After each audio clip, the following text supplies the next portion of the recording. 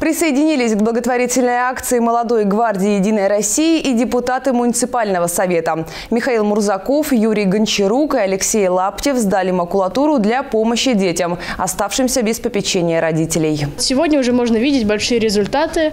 Э, Часть лежит здесь, но это лишь малая доля. Вот. Э, Будем стараться собрать как можно больше, чтобы получить денежку, а на эти денежки купить э, подарки в дома сирот. Молодогвардейцы пообщались с депутатами о важности подобных акций и рассказали об ожидаемых результатах. Планируется сдать достойное количество сырья и получить около 20 тысяч рублей. Депутаты всецело поддержали ребят. Эти мероприятия помогают, во-первых, сохранить лес, помочь, э, как вот говорили представители молодой гвардии, э, помочь детям, потратить э, собранные э, деньги на подарки.